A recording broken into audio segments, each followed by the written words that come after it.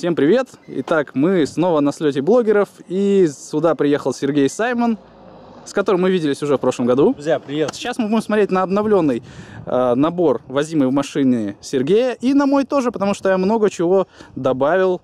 Ну, давайте посмотрим. У нас тут крузак. Ну, поменял я тот 120-й Прада у меня был чуть-чуть маловатый. А, мне, я человек большой, да, не хватает места, взял 200 и полностью его а, подготовил, переделал во многом под э, свои экспедиции, под свои путешествия. Ну что, сейчас будешь рассказывать, отчитываться, что ты сюда накачал, надобавлял. Э, будем уже брать крупным планом, что в багажнике. На этом лежать и спать? Да, это спальный модуль.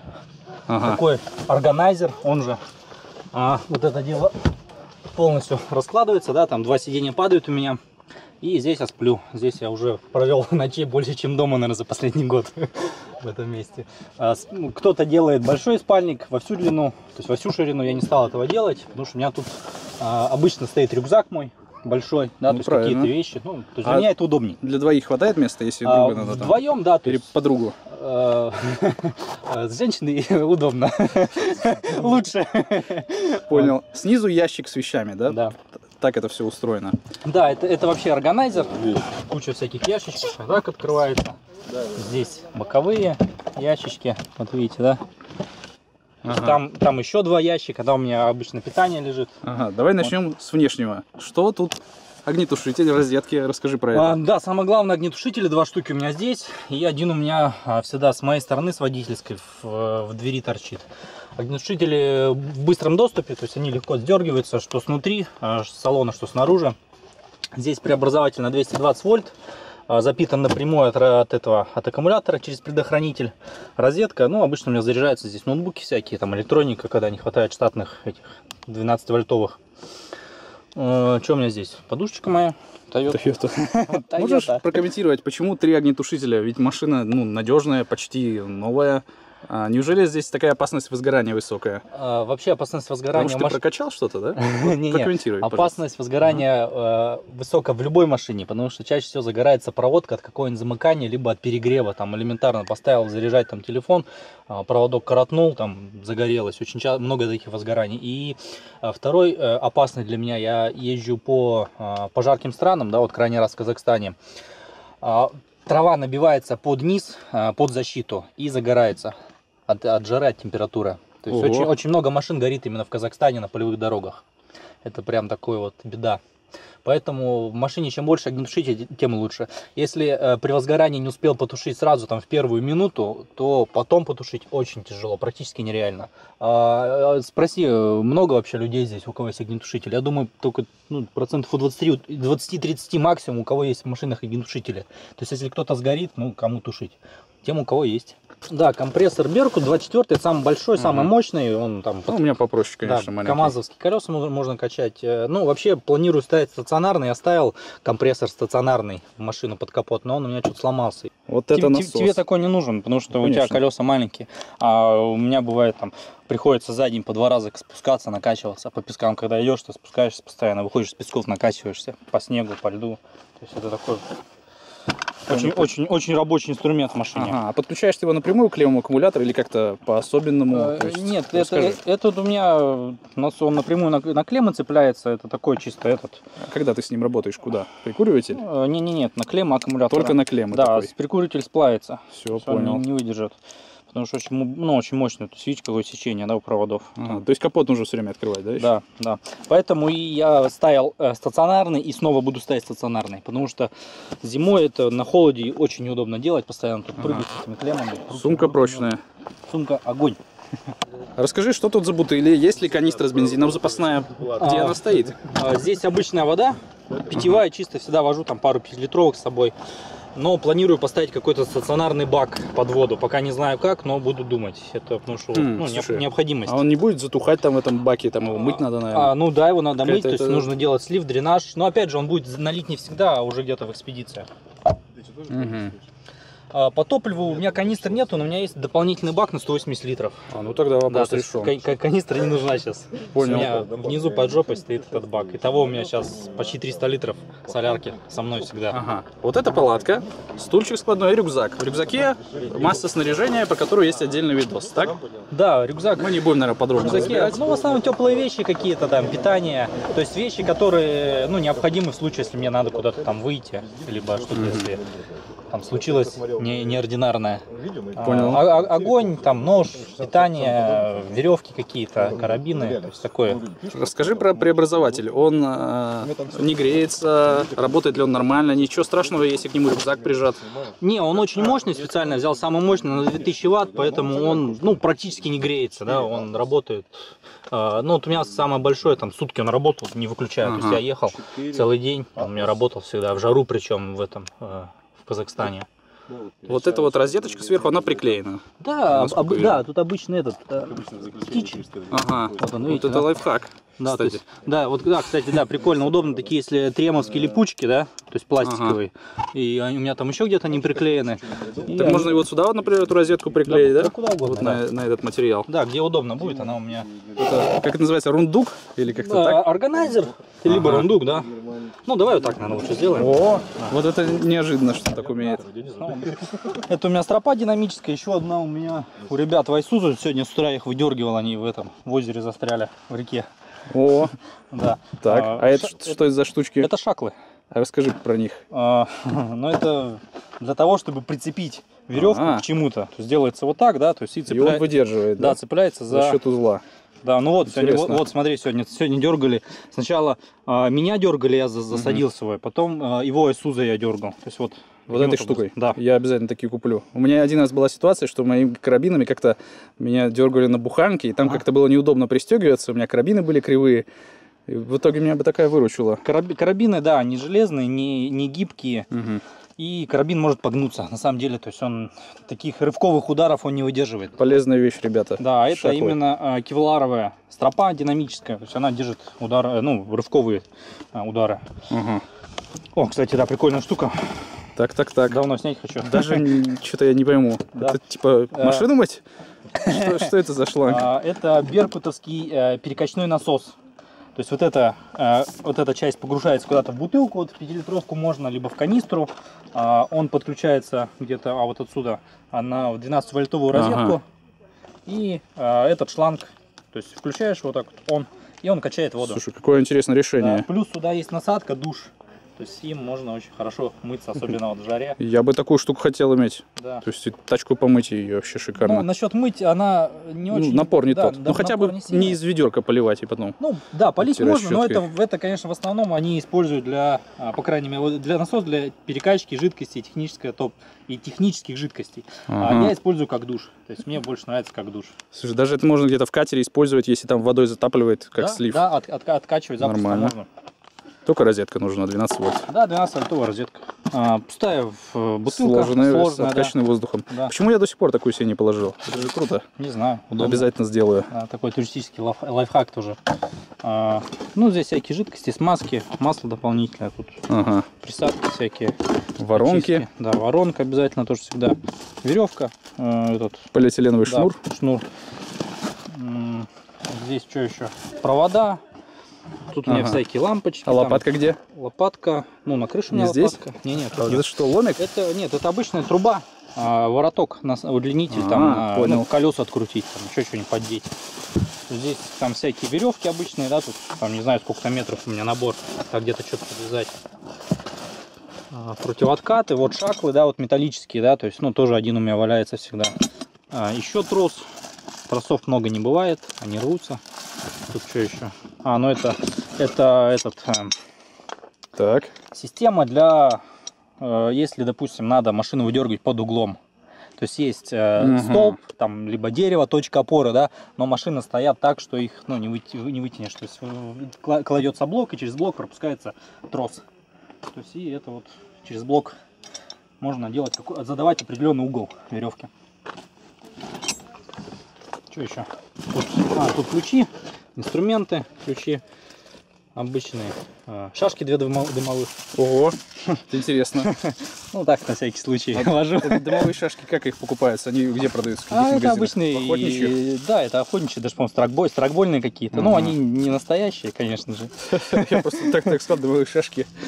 А, Настоящие небольшие, не очень возить, и это такой компромиссный вариант. Так, здесь у меня, а, здесь аптечка. Какая-то тактическая. Ну давай покажем. А, Все-таки ну- моим зрителям, я думаю, будет интересно. Ну, не тактическая, просто Да подсу- ладно. подсумок обычный ССОшный, СС- это союз, как там, спецоснащение подсумок. Ну, а сборка уже моя, то есть здесь это я уже сам собирал. Здесь полностью, здесь э, бинты, э, антишок набор, э, этот, перевязочный пакет ИПП. И ПП. Да, здесь у меня этот хирургический набор американский, капли зубные, тут отглазные, жгуты, таблетки. Ну, Что общем, такое зубные капли? Зубные капли, когда зубы болят, то есть они ну, снимают, в некотором смысле небольшую боль они снимают. Ага. А капать надо на зуб. А, Да, прям ватку мочишь и прям Интересно. зуб больной. Ну, если сильная там что-то прям, не- нерв оголенный, конечно, не поможет, Ага. но если такая ноющая, там, не сильная боль, то, в принципе, помогает. Никогда такого не видел. Зубные капли. А, нет, да, прикольная вещь, рекомендую. Ага. А, Всякие одеяла, спасатели. Короче, тут самое они а есть ли у тебя какая-то мини-аптечка где-нибудь в бардачке, ну там с самым таким адски необходимым? А, нет, у меня такой аптечки нету, но... вот Только я- здесь в багажнике, Да, но я сейчас планирую, Ага. я ищу подсумок, э, тоже подсмотрел у ребят, у военных, э, цепляют на задний подголовник. Аптечку, да, то есть такую же там быстросъемную. Я вот сейчас Да-да. выбираю себе подсумок. Сейчас на экран выведем, как да, это выглядит. Да, поме- Хорошая тема. поменьше. Очень, очень удобная тема, и там как раз можно там самое необходимое. Ну, у меня есть моя вот такая сумочка. Здесь у меня там какие-то минимальный набор таблеток, жгут, э, там что-то такое лежит. Резиновые сапоги, горелки. Да, горелка. туристическое снаряжение. Э, дождевик, э, поджопник, здесь у меня горелка там, что-то как, какие-то. Все для туризма. Да, вот здесь, кстати. Резиновые сапоги самая полезная вещь. Да, да, да. Казалось бы. То есть, ну, тут, в общем, такая вещи, которые там для обихода. Так, ну, здесь вот такой небольшой отдельчик за сиденьем. Ну, здесь у меня вещи, тут у меня рабочая Ага. роба лежит, там, не знаю, что это, флаг. О, кстати, да, это Равиновский флаг, мне спонсор, вожу с собой. А, Там внизу этот э, коврик у меня раскладной, Ага. туристический каремат. Так. Ой. О, вот это, кстати, классная тема, рекомендую. А, так вот, резиновый бак под На воду. сколько литров? Под воду. Этот, по-моему, Огромный? меня- Ой, я не помню. Литров на 20, наверное, этот. Может, даже чуть побольше. Да, 25 литров. Как резиновое ведро выполнен или как закручивающийся? Придется показывать, ты так рассказал. Придется показывать, что это за бак. Давай, я вот последний раз ездил в Казахстан, брал, но я брал поменьше на 18, но мне его не хватило. Вот взял на 25. Ого, какой прошитый. Да, он офигенный прям. То есть здесь И? заливное горло, здесь сливное. И, соответственно, два, да. Да, в чем, Удобно. в чем плюс то, что он мягкий, ты можешь его положить, он примет форму, там место и... И кордуры защищена резина. Да? Хорошо, не воняет вода? Не, Из правильно сделан, значит, из Да. правильной резины. не, да, очень качественная те- тема, я прям сам, для меня это было открытием. Еще у меня одно отделение, здесь у меня только продукты. Кастрюльки и набор тут всякого-всякого едового. О, Там тушенки, эти армейские эти сухпайки. Вот, чай, вот чай, кстати, есть, да. холодильника консервы. в автомобиле? Х- Холодильника нет, но я Для планирую... жарких стран же было бы классно. А, Я планирую сейчас вот как раз сюда купить отдельный холодильник компрессорный, вот в это место поставить. М. Вот. Потому что, ну, тема, да, нужная. Потому что я вот испытываю недостаток его холодильника. Соответственно, сиденье можно сложить назад и э, появится второй ряд сидений полноценный. Здесь у тебя обогреватель установлен. Да, это автономный отопитель. Он э, не зависит от э, того, работает машина, не работает. Он запитан напрямую на аккумулятор, и топливо подается напрямую с бака. Он включается, вот у меня рубильник Ага. на него, и машина Сигналки отапливается. можно запустить? Э, У меня не подключено. Вообще можно, но у меня не подключал.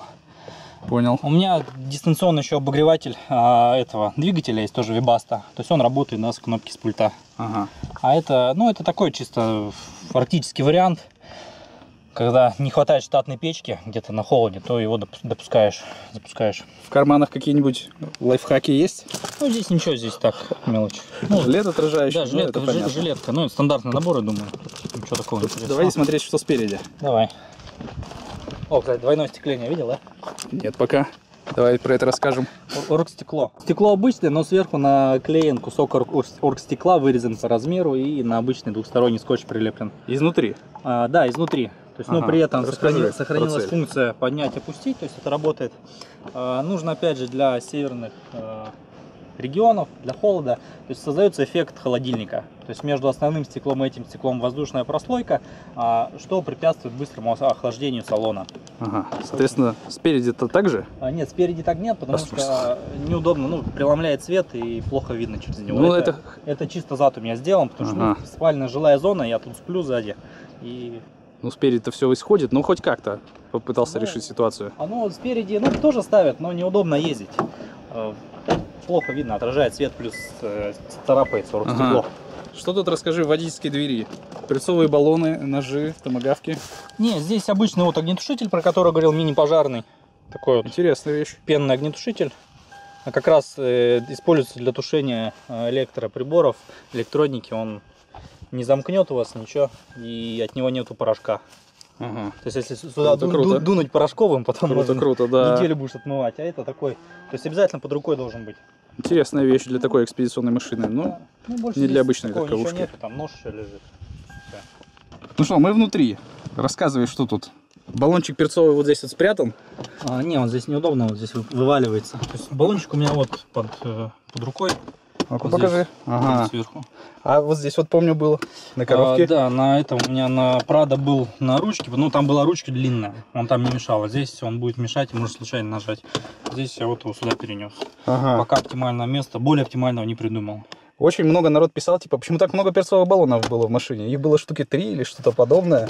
Везде просто. И там, и тут. А, а сейчас один всего. Нет, как сейчас, нет, сейчас их два. То есть так, один здесь, один и здесь. второй еще там лежит внизу. Вот он. Глубоко. Ага, все, понял, да, у меня тоже такой был, подарил недавно. Ну, у меня кроме баллончика просто еще есть средства самообороны, поэтому... поэтому... Ага, расскажи про фонарик. Армитек? А, да, фонарик Армитек. Ну-ка давай, это же интересно сообществу да, любителей фонарей. Да, фонарик Армитек, вот такой вот. Ага. Еще плюс у меня один со мной всегда в этом. В а налобное крепление от кого? Это тоже от Армитека. А можно вот этот установить в это крепление? Или нет, нельзя? Нет, этот не подойдет. У меня для налобного вот такой у меня, этот у меня всегда в кармане. Итак, здесь э, бутылка с водой обычно возишь. Угу. Эспандер. Эспандер, ну да. Тренировать хват. Когда в пробке стоишь. Да, Хорошая я... тема. Может мне тоже так сделать? Ну, это прямо такой лайфхак. Расскажи про рацию, в каком диапазоне работает, что за рация, а. как она здесь закреплена? Рация обычная Сибишка, ага, Вект, Вектор Smart, по-моему, 27 Здесь она закреплена, о, опять же, на такой вот...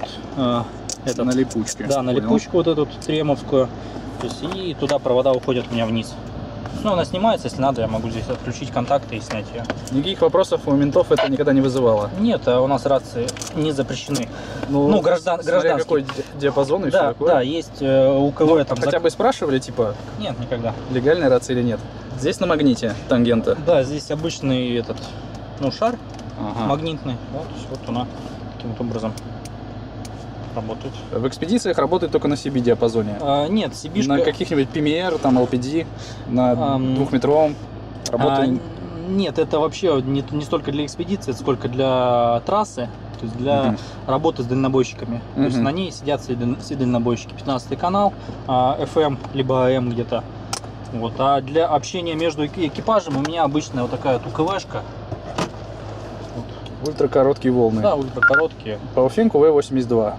Да. Ну, видос я как-то сниму. Да, ну плюс у меня длинная антенна еще под нее есть. Вот, но я сейчас планирую поставить стационарный сюда какую-нибудь Ясу, тоже УКВшку. Ну, Ясу это уже уровень. Да, то есть, ну, это маломощное. Хватает для там метров 500, может быть, километров по прямой.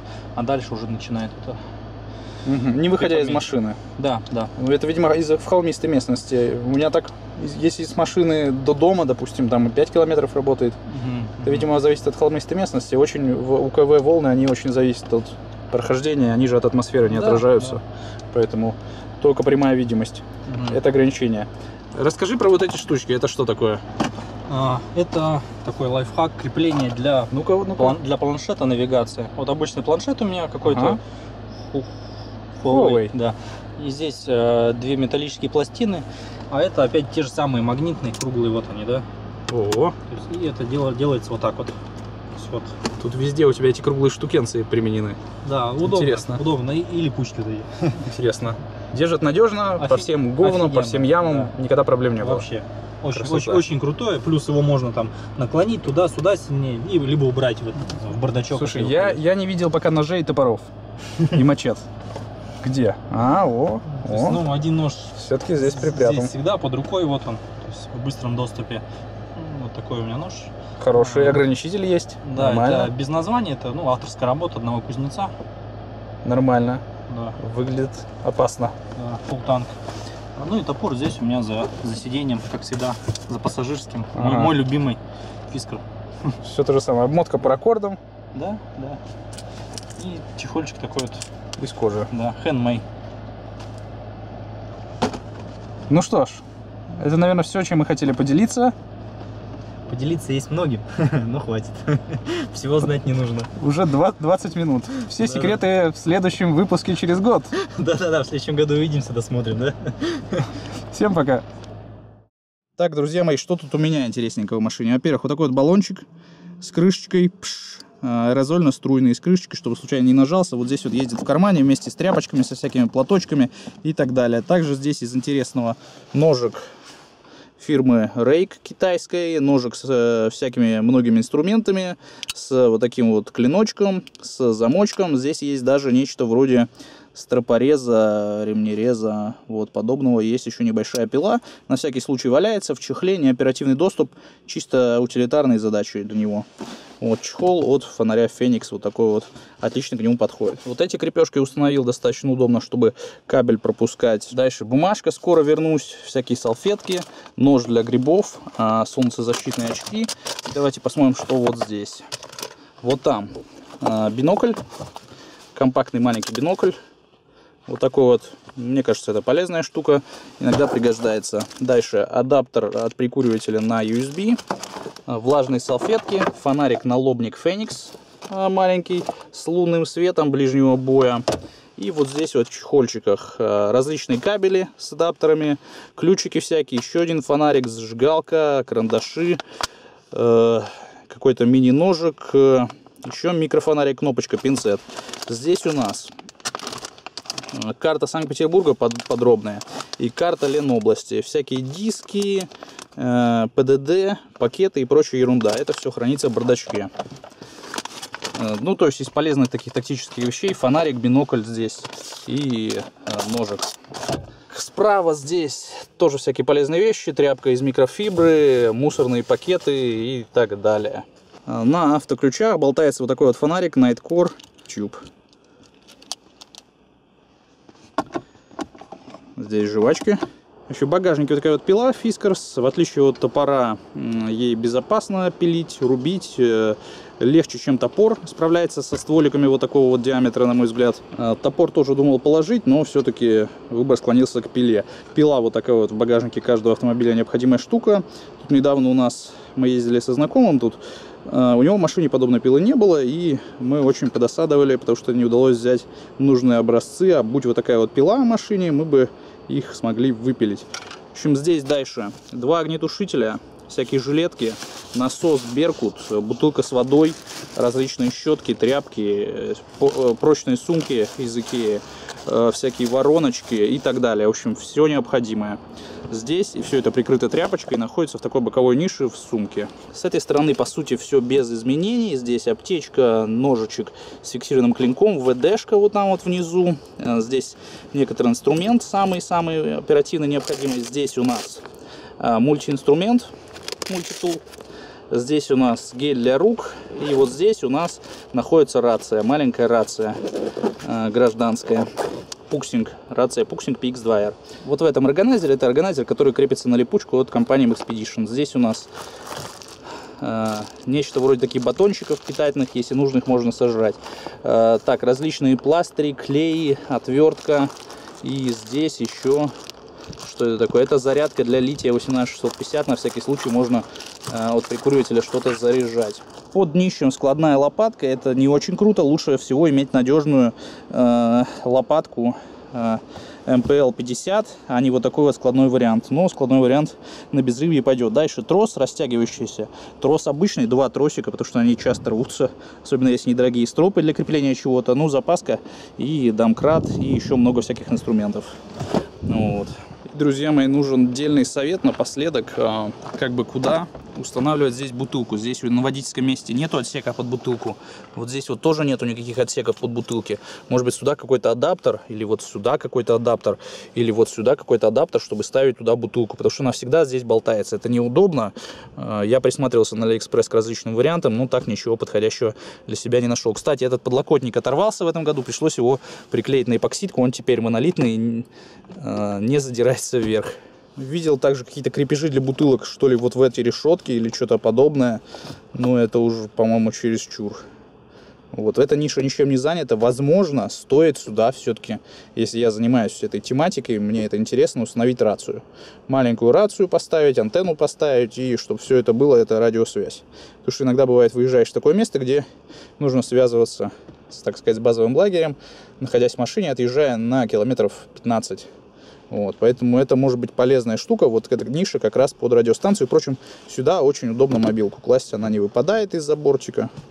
Вот, поэтому принимаются советы, какую радиостанцию взять, чтобы небольшая сюда влезла, висела бы здесь тангента, антенну на крышу. Вот. Также нужно, конечно, из тюнинга какую-то нормальную магнитолу по современней с USB разъемом и провод вот этот провести как-то под панелями к регистратору. Вот эти рожки это временное решение.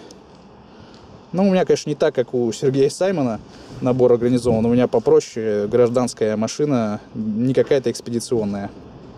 А, на зиму используется, кладется вот такая вот лопата.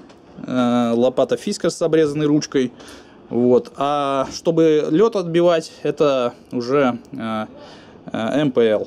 А вот это вот, это больше для жесткого снега, такая здоровая лопата Fiskars но после обрезки ручки она не такая уж и здоровая стала. Так что вот зимой добавляется еще лопата такая и а, маленькая для отбития льда. Ну и по сравнению с прошлым годом, что у меня изменилось? Добавился бинокль, добавился, добавилась пила Fiskars, а, перцовый баллончик с крышечкой с колпачком и нож рейк в передний карман. И может быть еще какой-то из фонариков. Фонарики лишними не будут. А так, в принципе, все по-прежнему. Все, наверное, чем хотел поделиться. Ссылочки и Дополнительная информация в описании. Все, всем пока. Увидимся на канале.